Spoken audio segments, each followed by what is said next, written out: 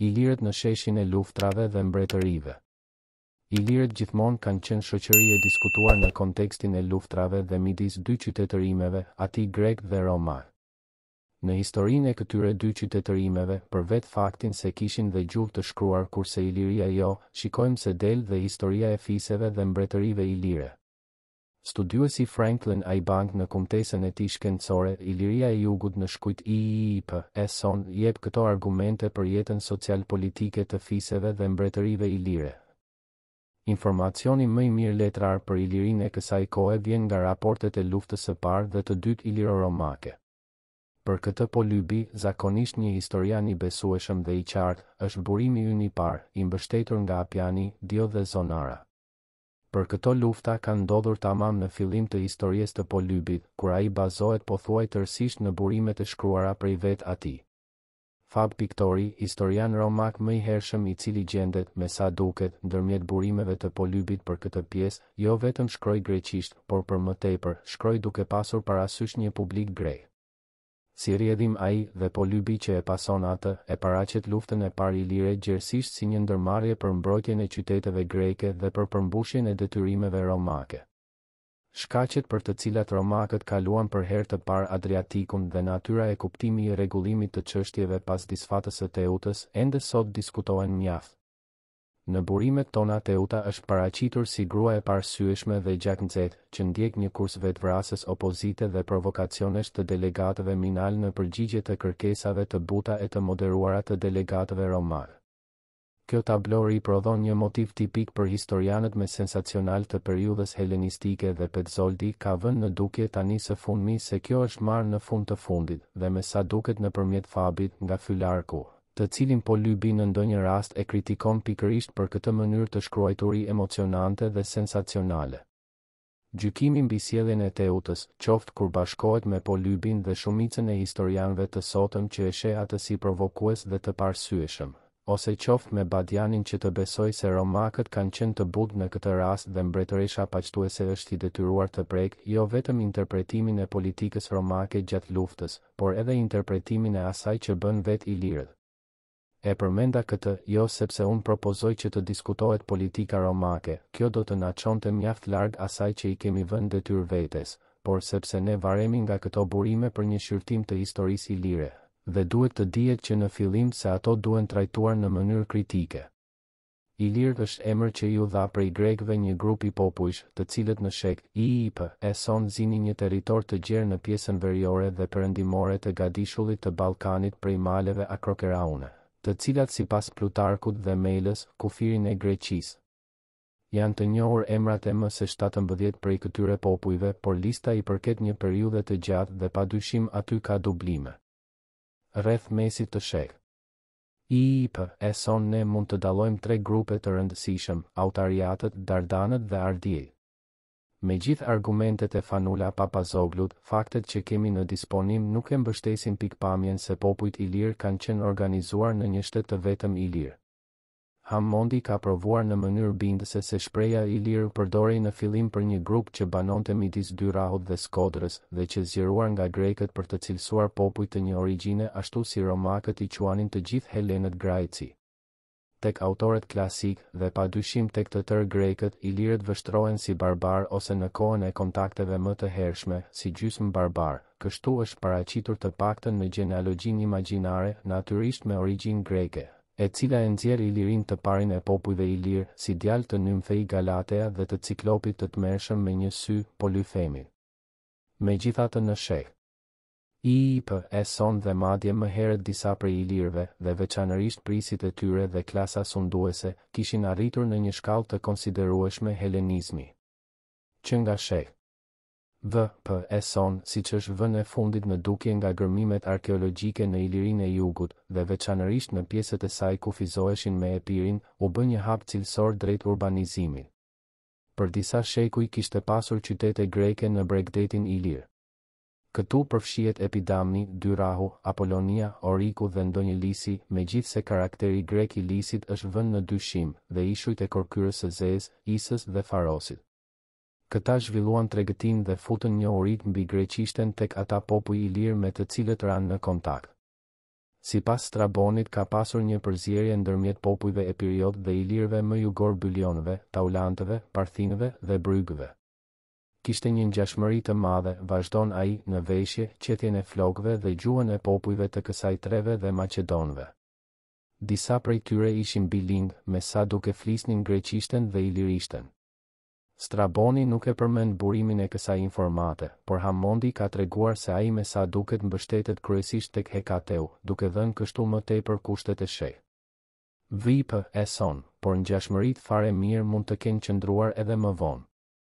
Këto lidhje kulturore provohen gjithashtu nga prerjet monetare. Legjendat greke gjenden mbi monedha e Amantias dhe Bylisit, si dhe mbi ato të mbretërive ilire Monin dhe Mytil, të cilët duket se kanë pasur nën sundim Dyrrahun. Në fakt gërmimet kanë vënë në dukje praninë e një elementi të gjerë ilir në këtë qytet gjatë kohës helenistike dhe se institucionet e saj, megjithëse pa dyshim ishin zhvilluar në përgjigje të evolucionit të brendshëm shoqëror të popujve ilirë, janë ndikuar nga ato të botës së jashtme. Kjo mund të ilustrohet me disa tipare të monarkisë ilire, e cila njëlloj si monarkitë e Epirit, Athamanisë dhe Thrakës, ka qenë e prirur ndaj ndikimit të formave dhe institucioneve të shteteve helenistike.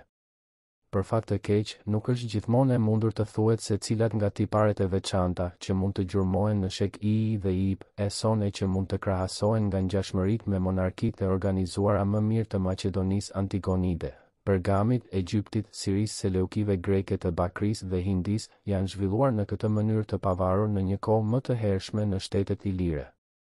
Por në lidhje me këtë çështje unë do të përmend një ose dy paralele. Monarkia ilire ishte natyrisht e trashëgueshme, megjithëse informuar keq mbi kushtet e trashëgimit të fronit dhe mbi çdo rol që luante populli dhe krerët. Hamondi ka përcaktuar dinastitë në shtete të ndryshme ilire ndërmjet shek. V dhe IV p. e sonë duke përfshirë edhe monarkinë Ardieje. Kur Agroni vdiq rreth dyqind e tridhjetë, ai u pasua nga djali i vet i mitur Pini, ndërkohë kur siç mund të pritej, roli i tutorit u bë mjaft i rëndësishëm. Institucioni i tutorit u ushtrua në fillim nga e veja e mbretit, Teuta. Megjithëse ajo nuk ishte e ëma e djalit dhe më vonë nga Demetër Fari, që u martua me nënën e Pinit, Triteutën. Demetri, rastësisht, mund të ketë qenë grek ose gjysmëgrek, sidoqoftë një tjetër Demetër Fari, që del në një papyrus si banor në Egjypt rreth së njëjtës kohë, njihet aty si grek. Janë për t'u kujtuar ngjarjet në Maqedoni kur Demetri II vdiq duke lënë një djalë si trashëgimtar dhe kushëriri i tij, Antigon Dosoni, u martua me nënën e djalit. Ftian dhe, në fillim si tutor i Filipit e më vonë si mbret, shpëtoi shtetin, njëlloj si në gjendjen e krijuar në kohën e ardhjes në fron të Filipit I. Për monarkinë e Ardiejve duhet shënuar se Teuta u bë tutore pavarësisht se Skerdilaidi që ishte me sa duket vëllai i Agronit, dhe që më vonë u bë tutor i Pinit dhe eventualisht mbret, në atë kohë qe një udhëheqës ushtarak aktiv. Në artikullin e tyre H. dhe N. Ceka e krahasojnë pushtetin e ushtruar nga Olimpia me atë të ushtruar nga Deidamia në Epir dhe e shohin atë si një reflektim të gjendjes së lartë shoqërore të gruas në Iliri, të krahasuar me gruan greke, që kishte humbur vendin e saj në ekonomi për shkak të punës së skllavit, duke humbur njëkohësisht pozitën në jetën shoqërore dhe politike. por ndoshta është po ashtu me vend të krahasohet ndikimi i ushtruar nga mbretëresha të ndryshme helene, më e njohura nga të cilat qe Kleopatra VII në Egjypt, megjithatë rolin që luante prej kohe skllavëria në këto mbretëri. Më vonë vetë Skerdilajdi ndoqi një praktikë të njohur prej nesh nga bota helenistike duke bërë djalin e vet pleuratin bashkësundues për t'i siguruar atij një trashëgim të lehtë. Të dy figurojnë së bashku në traktatin e lidhur ndërmjet Romës dhe Etolisë më dyqind e njëmbëdhjetë, por data e saktë e hipjes në front të Pleuratit është e pasigurt. Qenia gjallë e nënës së Pinit dhe martesa e saj me Demetrin pas vdekjes së Teutës ngre çështjen nëse mbretërit Ardiej kanë ushtruar poligaminë. Poligamia në përgjithësi tregon një pozitë të ulët të gruas, si rrjedhim mund të duket se nuk shkon në përputhje me pushtetin e pavarur të ushtruar nga një mbretëreshë si Teuta. Por kjo mund të mos jetë e sigurt. Në përgjithësi duket e mundshme se ashtu si tek mbretërit maqedonë për shembull Filipi I, Demetër Poliorketi dhe Filipi V, mbretërit Ardiej synonin të kishin disa gra, njëherësh ose njëra pas tjetrës, kjo ose për të përmbushur pasionet e tyre, ose si një mjet politik, si Filipi V i Maqedonisë, i cili martoi birin e vet Perseun me një princeshë bastarne, e cila më vonë pas hypjes në front të Perseut u mënjanua në favor të një loje më të rëndësishme me Laodikën e Sirisë. Nëse dy gratë e njohura të Gentit, Etuta dhe Etleva, u martuan me të njëra pas tjetrës apo njëherësh, kjo nuk është e përmendur në burimet tona. Më në fund mund të vihet ekzistenca e institucionit helenistik të miqve të mbretit në oborrin Ardiej. Polybi na thotë se pas vdekjes së Agronit Teuta ia la hollësitë e administrimit në mbretërinë Ardieje këshillit të oborrtarëve dhe nënpunësve të vjetër. Për fat të keq nuk jemi të informuar nëse ndonjë element burokratik i kancelarive helenistike ka qenë riprodhuar në Shkodër.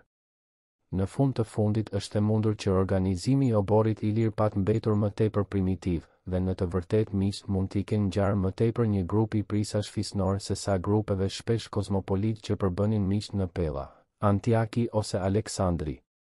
Këto ngjashmëri ndërmjet mbretërisë Ardieje dhe monarkive të tjera janë të një peshe të ndryshme. por ato ndoshta na ndihmojnë të mbështesim mendimin se në etapat e vona të saj, shteti i kontrolluar nga mbretërit Ardiej kishte mjaft nga karakteristikat e një shteti helenistik. Pjesë nga kumtesa shkencore e Franklin I Bank, Iliria e Jugut në shekujt III p.e. sonë, nga Kuvendi i Studimeve Ilire Akademia e Shkencave, Tiranë një mijë e nëntëqind e shtatëdhjetë e katër.